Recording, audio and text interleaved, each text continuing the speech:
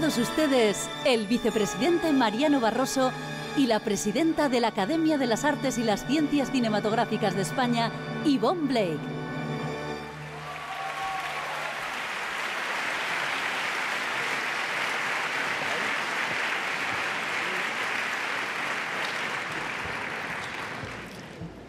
Muy buenas noches, queridos compañeros, ministro, presidente de Radio Televisión Española, alcaldesa, secretarios de, Estado, consejeros, señores em- embajadores y queridos espectadores. Estamos aquí para celebrar la fiesta del cine español. Dedicamos esta gala a todos los espectadores que nos apoyan con su presencia en las salas, a los más de 18 millones de personas que en 2016 fueron a ver películas españolas en nuestro país.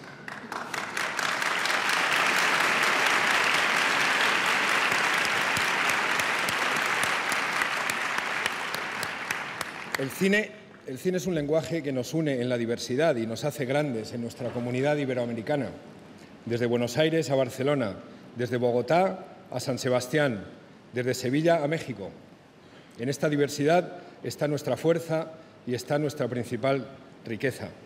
El cine es magia y es imaginación y también es fuerza de voluntad. Quienes nos dedicamos a hacer películas soñamos con ver las salas llenas. A veces logramos que nuestros sueños se hagan realidad. En cinco de los seis últimos años, una película española ha sido la más vista en nuestro país. Han sido Torrente 4, Lo Imposible, ocho apellidos vascos, ocho apellidos catalanes y un monstruo viene a verme. Pero la taquilla no es la única referencia para medir el valor de una película. Hay otras películas, hay otro tipo de cine que busca y que abre nuevos caminos. Su rentabilidad es distinta, pero también es necesaria. Es la rentabilidad de la cultura, del conocimiento y de la identidad.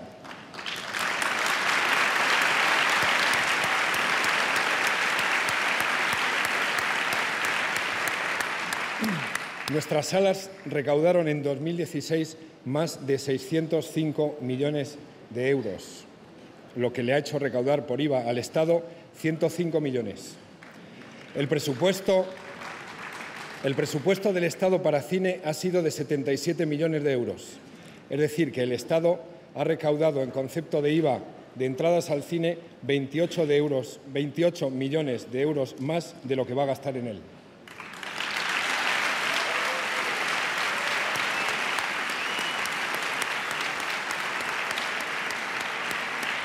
No somos un sector que vive del Estado, somos un sector que genera riqueza para el Estado.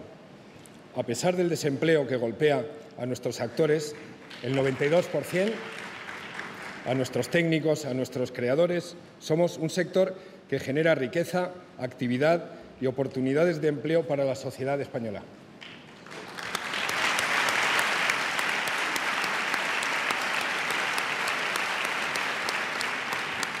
Decía, Ionesco que las ideologías nos separan, pero los sueños y las angustias nos unen. Sería de agradecer una nueva actitud de las autoridades hacia nuestra cinematografía, y no solo en los gestos, que valoramos. Y nos haríamos todos un gran regalo si las fuerzas políticas llegaran a un pacto de Estado por el cine, porque el cine nació para unirnos, como nos, como nos unen nuestras angustias y nuestros sueños. Ustedes, ustedes ya conocen, conocen a nuestra presidenta Yvonne Blake. Yvonne es una de tantas mujeres y de muchos hombres que dedican su vida a trabajar en nuestro cine detrás de la cámara.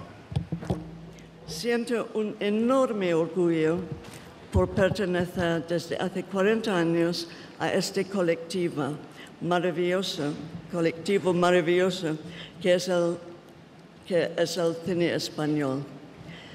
Si, y por si fuera poco orgullo, ahora me habéis elegido para representaros como presidenta. Sois unos insensatos.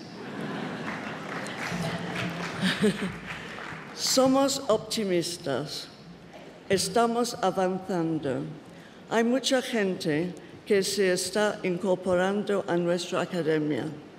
Muchos guionistas, actores, productores, muchos de ellos jóvenes cineastas que son presente y futuro, y futuro del cine español. Bienvenidos todos a, vuestra, a esta vuestra casa.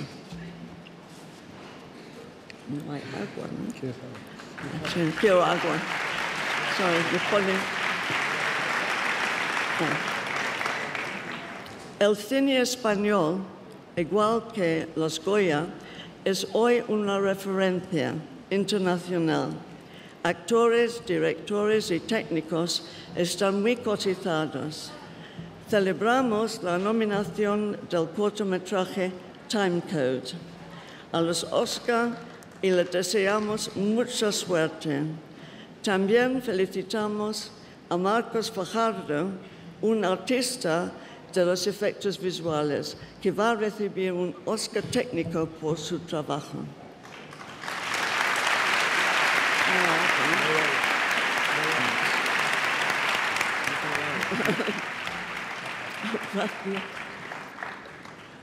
Perdona. Mejor, gracias. Los nervios me, me dan la boca seca, me ponen la boca seca. Sí, Dani, en la España de 1981 hacíamos pequeñas películas familiares como Las aventuras de Enrique Ana y solo teníamos unos clavos en la pared para, para colgar la ropa, el vestuario. En, dos, en 2016 tenemos percheros y con ruedas y hacemos superproducciones. Progresamos, evolu evolucionamos. La cosecha del próximo año se prevé fantástica.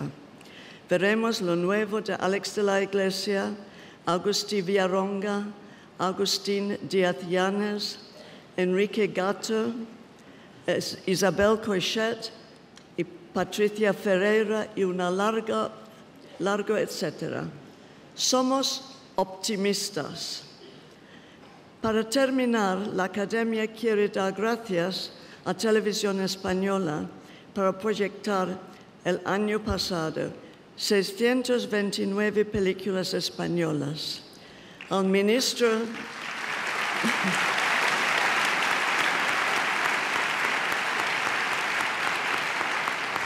al Ministerio de Cultura, al ICA, a nuestros patrocinadores y al sector de los exhibidores y distribuidores. Muchas gracias y viva el cine español.